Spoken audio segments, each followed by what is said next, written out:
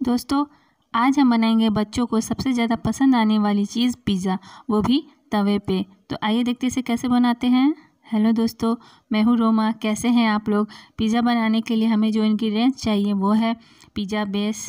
ये आपको मार्केट में किसी भी पेस्ट्री की दुकान में बहुत ही आसानी से मिल जाएगा। और उसके बाद हम लेंगे रफली चॉप किया हुआ शिमला मिर्च, प्याज और टमाटर। इन तीनों को हम रफली चॉप कर लेंगे और मैंने बस एक एक शिमला मिर्च, एक टमाटर, एक प्याज लिया है और 100 ग्राम स्वीट कॉर्न है। और अब हम पिज़्ज़ा बेस के ऊपर के परत को यूँ कट करेंगे। यूँ घुमाते हुए इसे हम कट कर लेंगे चारों तरफ़ से और इसके ऊपर के परत को हटा लेंगे। कुछ इस तरह से कट करना है।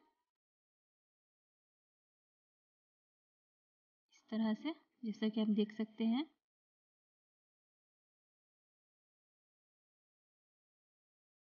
और अब हम इस पे मोजरोला चीज़ को ग्रेट करेंगे। मोजरोला चीज़ भी आपको किसी भी डेडी की दुकान में बहुत ही आसानी से मिल जाएगा मार्केट में।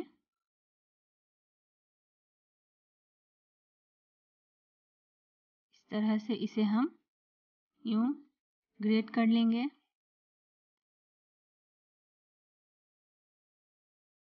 और अब हम इसके ऊपर के हिस्से को यूँ डालकर और इसके किनारे को हल्का हल्का पानी लगाकर इसे हम स्टक कर देंगे।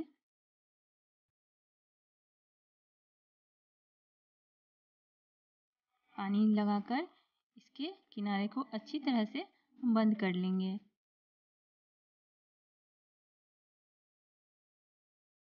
और अब हम इस पे लगाएँगे पिज़्ज़ा सॉस।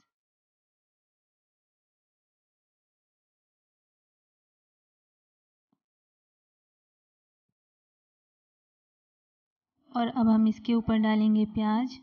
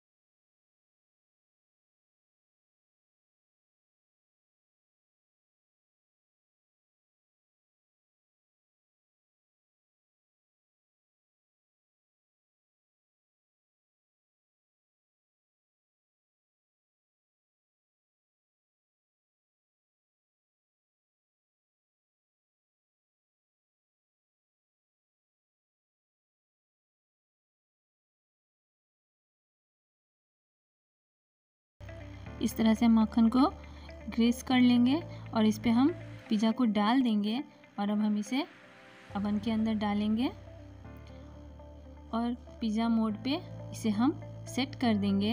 अवन को ऐसे स्टार्ट कर देंगे। जब तक ये पिज़्ज़ा बन रहा है, तब तक हम दूसरे पिज़्ज़े को भी बना लेते हैं, जिसे हम तवे पे बनाएँगे। तवे पे बनाने के लिए हम तवे को भी दो मिनट पहले प्री हीट कर लेंगे अच्छी तरह से।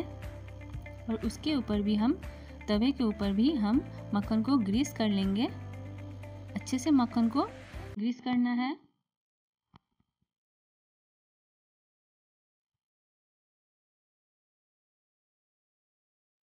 और अब हम इसके ऊपर पिज़्ज़ा को डाल देंगे और फ्लेम को लो कर देंगे। और लो फ्लेम पे इसे हम ढक कर आठ से दस मिनट पकाएँगे।